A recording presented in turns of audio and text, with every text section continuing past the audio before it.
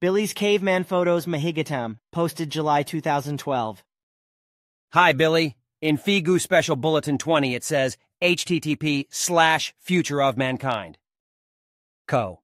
UK slash Billy underscore Meier slash Figu underscore special underscore bulletin underscore 20. Of the more than 1,378 pictures from your great journey, only a few remain, namely 42, which really came from you, while the majority of the 1,336 pictures consisted of foisted photocopies of some drawings, etc., which Quetzal discovered very quickly at that time, which is why he destroyed all slides and photos. In the course of the joint correction work on the contact reports by Ptaah, Florena, and Jana, Billy, and Bernadette Brand, the time for clarifying had also come. In the year 2001, Guido was asked by Billy to make some of the photos available for publication in the corrected Pleiadian Plejarans contact report block. Therefore, since the year 2001, several genuine dinosaur pictures and dinosaur slides from the possession of Guido Moosbrugger are to be found with Billy again.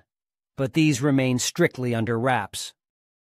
For the publication in the contact report block, it was strictly ensured, with the help of Ptaah, that it only concerned Billy's genuine pictures or his pictures that were only slightly falsified by Schmid, whereby the aforesaid falsification, for a logical reason, found no use.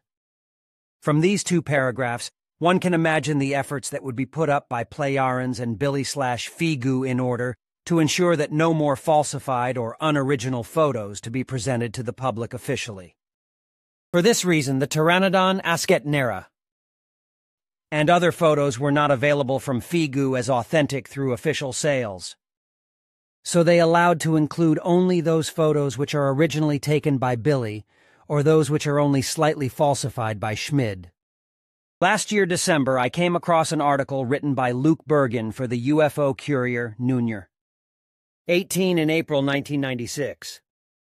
In that article, he mentioned the similarity of the two primitive cavemen photo with that of the cover photo present on the book, Die Botschaft der Gene, 1995.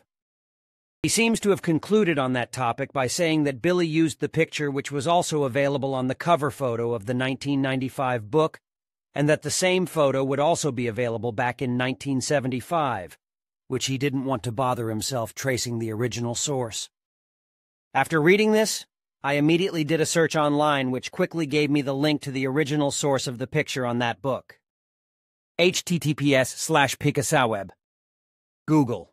com slash lh slash photo slash 4b8qc underscore idu3 sarcx2 vgbud9 gmxg 69 xoilmj7 jdrs3 zgm. Feet equal sign direct link.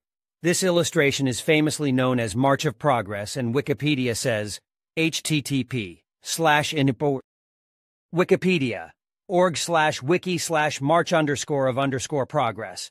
The March of Progress, or simply March of Progress, is one of the most famous and recognizable scientific illustrations ever produced. A compressed presentation of 25 million years of human evolution, it depicts 15 human evolutionary forebears lined up as if marching in a parade from left to right. The image has been copied, modified, and parodied countless times and has proven controversial in a number of respects. The illustration that has come to be known as the March of Progress was originally commissioned by Time Life Books for the Early Man Volume 1965 of its popular Life Nature Library. This book, authored by anthropologist F. Clark Howell 1925 to 2007 and the Time Life editors, included a fold-out section of text and images pages 41 to 45 entitled The Road to Homo sapiens, prominently featuring the sequence of figures drawn by noted natural history painter and muralist Rudolf Zallinger, 1919 to 1995. As far as I see, either the photo of two primitive cavemen is originally photographed by you in 1975, or it is a manipulated one inserted by the negative elements MIB Schmid. Back in 1975. But since the photograph is officially available in the Pleiadian Plejarans contact reports, Block 1 2002, with no captions calling it as a hoax, I assume that it is considered either an original or slightly manipulated photo. Now what puzzles me is this. If it is an original photo taken by Billy during his space journey in 1975, how come Billy photographed the two cavemen exactly in the same perspective, in the same motion, direction, with the same appearance, shadows, proportions? And so on to which the probability of occurrence is extremely minimal or negligible.